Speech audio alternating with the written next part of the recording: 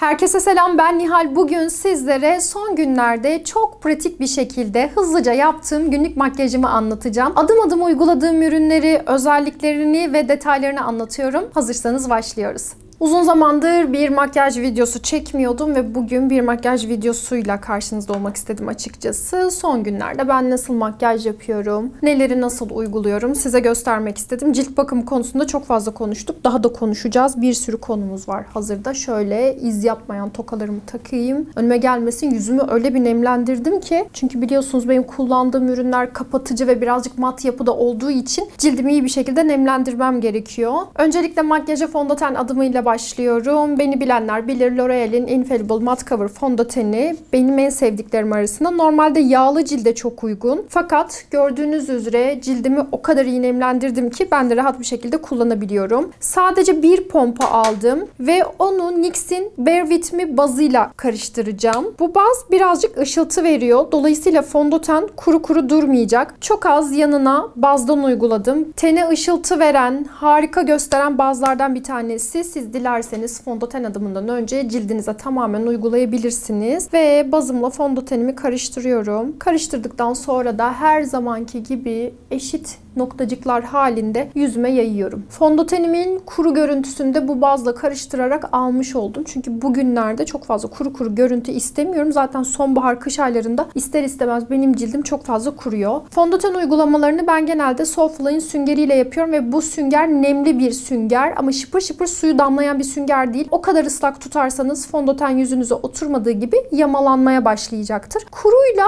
nemli arasında bir şey olması gerekiyor. Tampon tampon hareketlerle fondöteni yüzümün tamamına yediriyorum. Hem süngerle uyguladığımda fondötenin kalın yapısını, kek gibi görünen görüntüsünü de engellemiş oluyorum. Böylelikle yüzümde asla kek gibi durmayacak. Lekelerimin bana göre daha yoğun olduğu taraftan geçiyorum. Şu anda fondöten benim en sevdiğim makyaj ürünlerinden bir tanesi. Bir anda kusursuz görünüyorsunuz fondötenle. Ve tabii ki seçerken her videoda bunu söylüyorum. Cildinizin tipine, sizin beklentinize, cildinizin yapısına, tonuna çok uygun bir fondöten seçmeniz gerekiyor. Şimdi göz çevremle yüzümdeki farkı görüyorsunuz. Göz çevreme zaten leke açıcı ürünler uygulamadığım için orası kendi normal renginde. Aslında koyu değil ama e, ten rengime göre biraz daha koyu renkte. Ben bugün Not'un kolajen concealer'ını kullanacağım. Bunun 3 numarası. Zaten 3 tane numarası var. Ben şunu anlamıyorum. Yani kapatıcıların 1, 2, 3 diye sadece 3 tane numarası olamaz bence. Alt tonlar var. Alt tona göre kapatıcı seçmek çok önemli. En az 8 tane rengin olması gerektiğini düşünüyorum ama neyse ki bu 3 numara bana tam oldu. Şöyle metal bir başlığı var. Bakın 3 numara tam olarak benim tenimle, göz çevremle aynı. Sadece biraz dikkat etmeniz lazım. Üründen sıktığınızda çok fazla gelebiliyor. Böyle serin serin göz çevrenize uygulama yapabiliyorsunuz ama dediğim gibi dikkatli sıkmanız lazım. O kadar çok ürün geliyor ki sonra yediremiyorsunuz. Şimdi kapatıcıyı göz çevreme bıraktım. Bir miktar orada kalsın. Yüzümü zaten kapattım görüyorsunuz. Fakat yükseltmem gereken yerler var. Bir kontür hilesi yapacağım. O bölgelerden de kapatıcının formu çünkü daha başka. Onunla geçiyorum. Bu kapatıcıyı çok sevdim. Çünkü daha nemli bir bitişi var diğerlerine nazaran ve eğer göz çevrenizde çöküntüler varsa, çizgilenmeler varsa kolajen de içerdiği için kolajen biliyorsunuz nem verir, ekstra nem verir.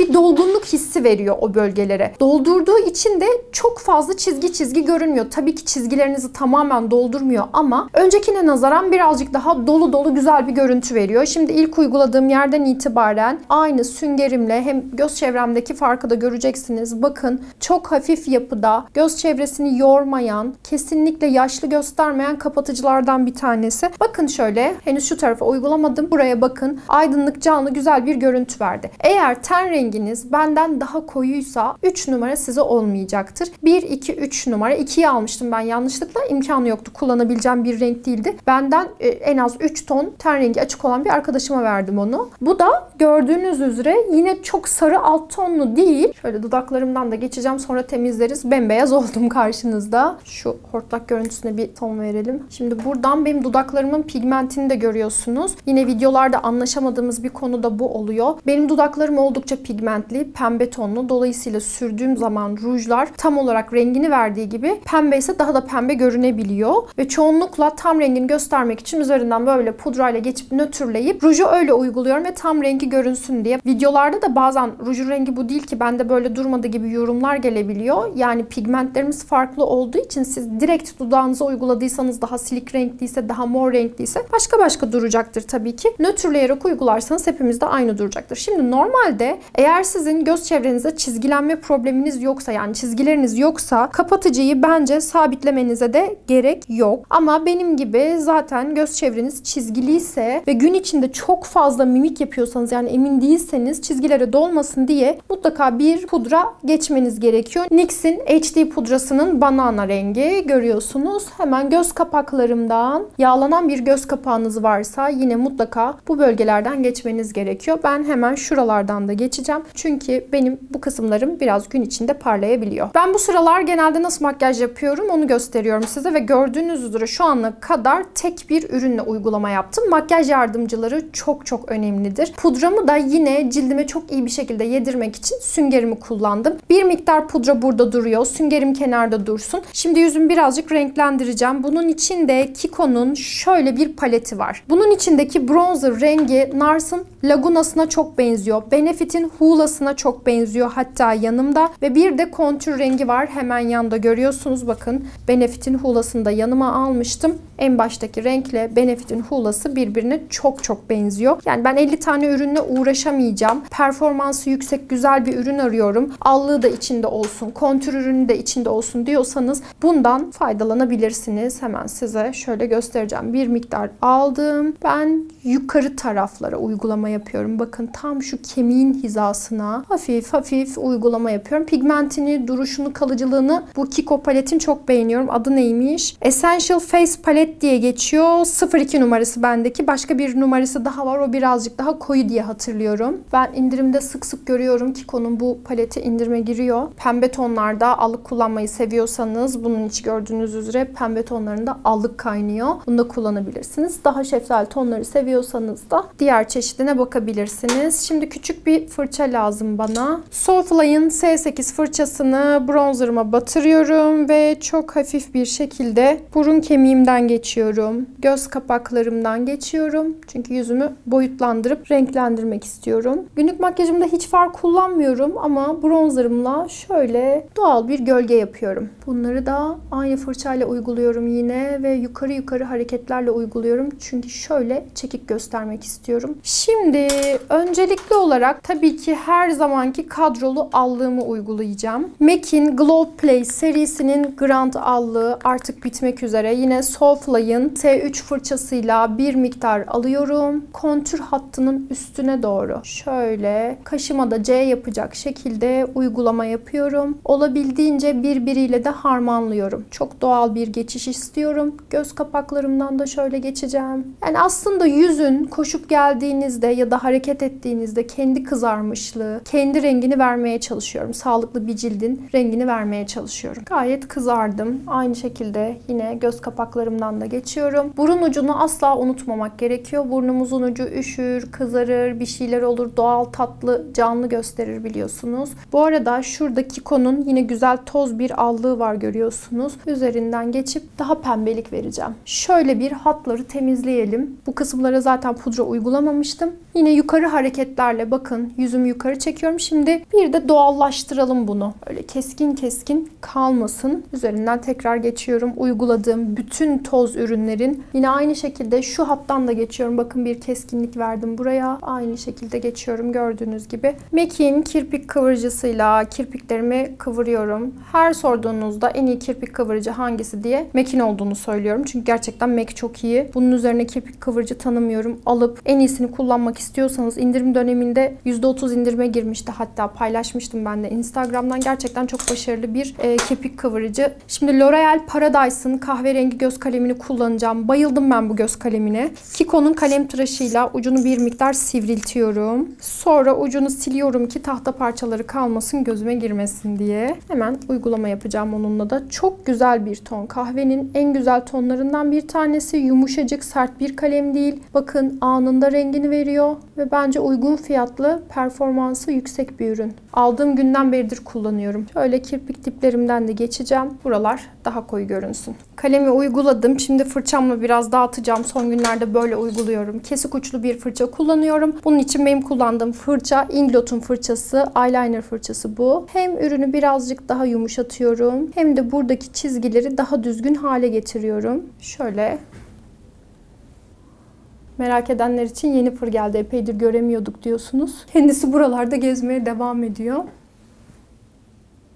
Şu kısmı da biraz sivrileştireceğim. Evet, normalde günlük göz makyajım bu şekilde oluyor. Birazcık daha hafif olabiliyor bazen. Bunu uygulaması çok kolay kalem oldukça pratik. O yüzden kesinlikle tavsiye ederim. Hatta parmaklarınızla da yayabilirsiniz. Bunun için çok çok uygun. Şimdi yine pudralı süngerimle şu kısımdan birazcık daha geçiyorum. Kaşlarım yine uzama evresinde. Gitmem gerekiyor benim bu ara. Hemen şöyle tarayarak üzerindeki toz ürün kalıntılarını da alıp temizliyorum. L'Oreal Paradise maskara kullanacağım. Bu normalde benim çok sevdiğim bir maskara değil ama açtığım için artık bitirmeye çalışıyorum. Yani maskara güzel hacim veriyor. Kirpikleri güzel gösteriyor. Fakat gün içinde alta bende dökülmeler olabiliyor. Onu önlemek için de üzerinden ben Maybelline'in maskarasıyla tekrar geçiyorum. Bir de tabii ki maskara hızlı kuruyor. Yani parama yazık oluyor. E, bu benim elimde vardı. Artık bitireyim diye açtım ve bitirmeyi bekliyorum. Tabii bir sürü kişinin favorisi bu maskara. Ona hiç lafım yok. Ben sadece kendimdeki etkisini ve maskaranın hızlı kurumasını beğenmiyorum. Şöyle döneceğim rahat görülsün diye dipten uca maskara uygulamasını yapıyorum. Kısımları dışa doğru doğru daha çekik durması için tarıyorum. Ben her maskara uygulaması yaptığımda mutlaka şöyle de içeriden bir geçiyorum. Çünkü toz ürünlerim de oraya dökülmüş olabilir. Ee, daha sonrasında ben görüyorum mesela bazı kişilerde orası toz toz kötü gözüküyor. O görüntü bende olsun istemiyorum açıkçası. Hem de uçta boyanmayan kısımlar varsa ve kirpikler olduğundan daha uzun görünüyor. Mesela bu maskarayla alt kirpiklere uygulama yapmak birazcık zor. Ben genelde bulaştırıyorum. Şu an uygularken bile alta döküldü birazcık. O yüzden sevmiyorum. Normalde aslında biliyorsunuz Maybelline'in Sky High maskarası son günlerde benim favorim. Bu bitti gibi bir şey. Şimdi bunun fırçasıyla üstünden tekrar geçeceğim. Hem dökülme olmasın diye hem de tortular, topaklanmalar varsa onu da alsın diye. Bunda pek bir maskara kalmadı artık. Yani tarak görev görüyor şu anda bana. Diğer tarafa da maskaramı uyguladığım iki kat kirpiklerimde maskaramı görüyorsunuz. Yine Maybelline'in tarayla kirpiklerimi taradım ve eğer topaklanan bir kısım varsa varsa orayı da aldım. Şimdi Bobbi Brown'un elimde bir aydınlatıcısı var. Pink Glow rengi. En ünlü aydınlatıcılarından bir tanesi. Yine bunu son günlerde kullanmaya başladım. Öncelikle şöyle. Elimde Softline S12 fırçası da var. Şöyle göz pınarlarımdan içe doğru bu karıştırma fırçasıyla geçiyorum. Bir miktar daha alıyorum. Fazlasını süpürüyorum. Şu bölgelerden geçiyorum. Görüyorsunuz.